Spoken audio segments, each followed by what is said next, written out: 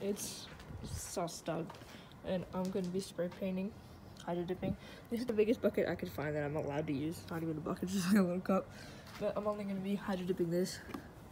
I was kind of bored and I wanted to do something, so I'm hydro dipping this. It's kind of old ball, but we're gonna see how it turns out.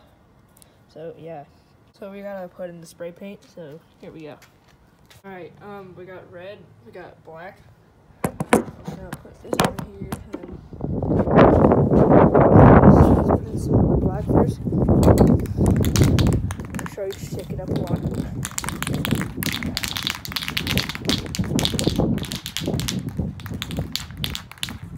Okay, I think it's good enough. Probably. Let's see.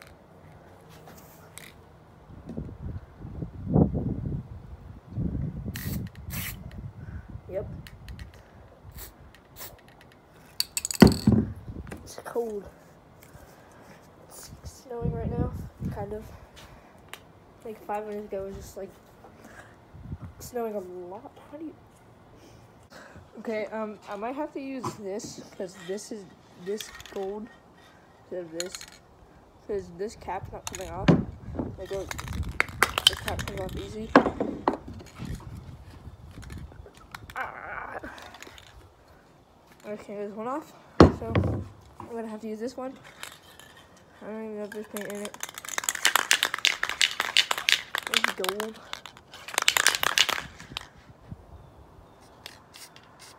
Oh, that actually looks kind of cool.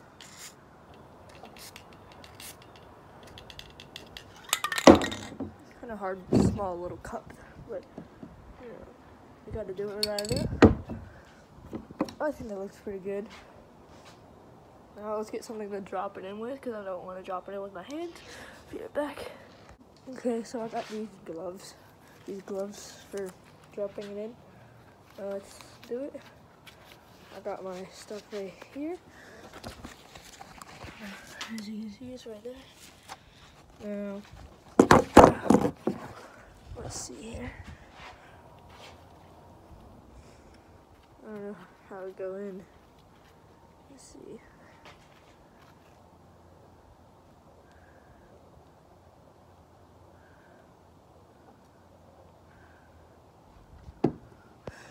Cup's not big enough, so we only did like half of it. But eh, it doesn't look that bad. I could just spray paint the rest of it,